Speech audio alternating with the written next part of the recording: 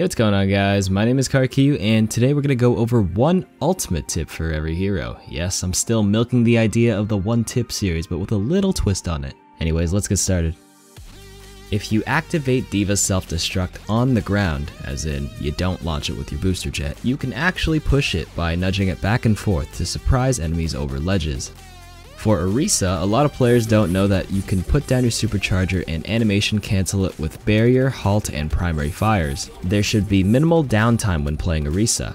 The third person shield peek is very underused, but can be fantastic for getting sneaky earth shatters off because it will automatically turn Rein around to the side that you're peeking. You can do this by pressing your primary fire while holding up your shield and turning your crosshair. For console that would be holding down L2 or left trigger and then holding down R2 or right trigger while moving your right analog thumbstick.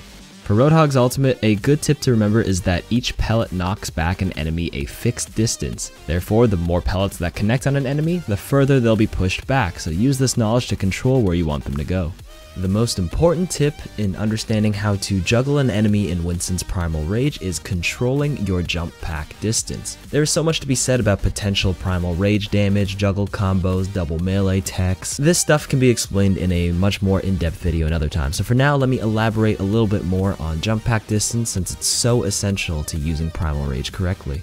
So first you've got a normal jump, the S jump, which is holding S on the keyboard or down on your left analog stick while jumping in order to short jump, and a bunch of other jump trajectories based on where you're looking.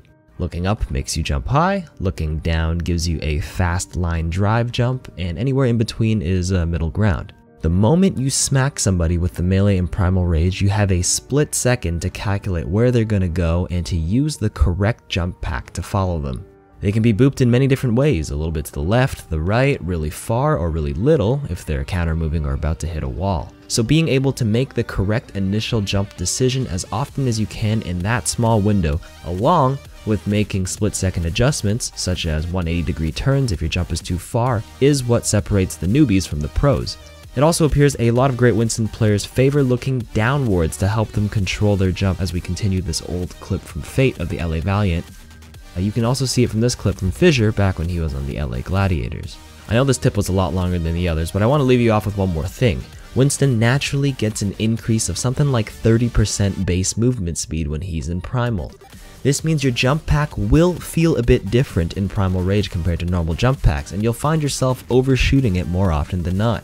You've probably noticed it but couldn't quite put your finger on why it felt so much more difficult to control, so there's your answer. I seriously suggest you go into a custom game, turn on Infinite Primal Rage, and practice on a bot until you get a feel for it. Do it, you'll get a lot better. Anyways, let's move on. For Hammond, his minefield spreads out much more depending on your height. A quick additional combo tip is to ult just before you use your pile driver because as the enemy is caught in the knockup animation, they will likely land on a mine that just got deployed and activated. For Zarya, if you ever have issues aiming your Graviton Surge projectile, a very important tip to remember is that it is the exact same projectile as your secondary fire. So again, if you're not confident in landing your grabs, you can quickly use a secondary fire first as a reference. For Bastion, you can rocket jump by shooting the ground and jumping at the same time to get a better angle for the next shot. Additionally, there is a bit of downtime between each shot so that you can weave in his self-heal, which is highly recommended.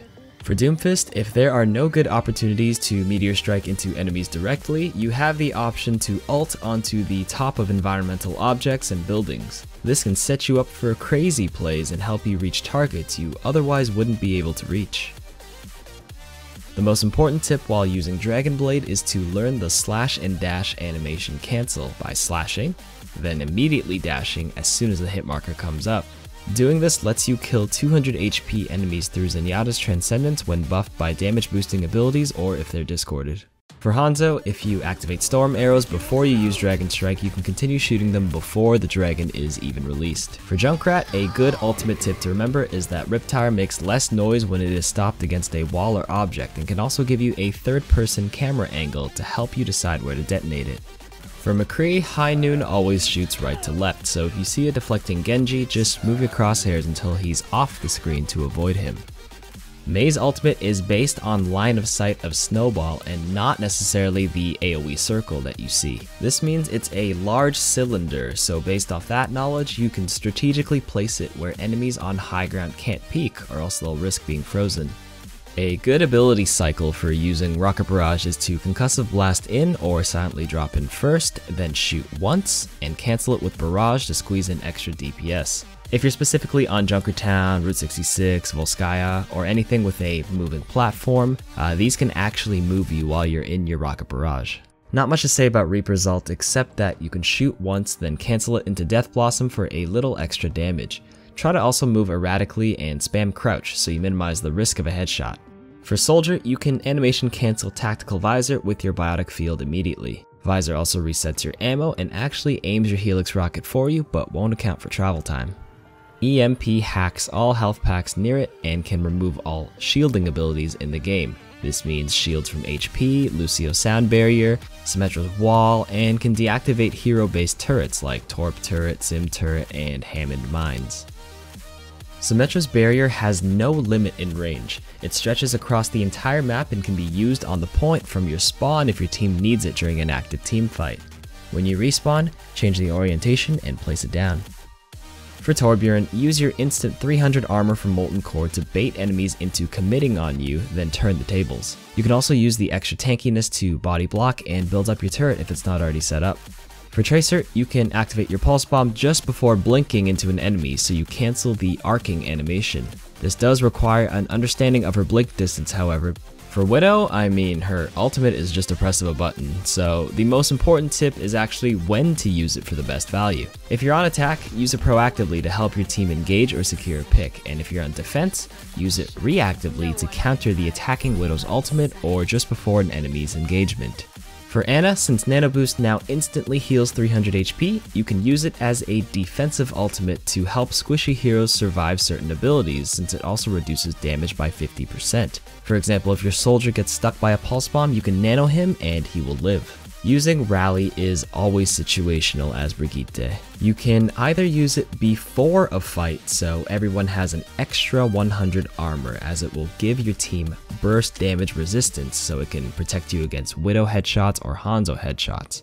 Or you can use it during a team fight for 300 armor over 10 seconds for better sustain and to let your team brawl it out. When activating Lucio's sound barrier, try to land it on higher or elevated objects like the payload to activate it a little bit faster. Mercy's Valkyrie is very strong for contesting points since you can activate it and quickly Guardian Angel to point off a teammate or their dead body out of spawn and take advantage of the vertical contesting height. Whenever you're looking to use your Coalescence as Moira, fire an orb just before ulting because the cooldown of it should just be about ready as soon as your Coalescence expires.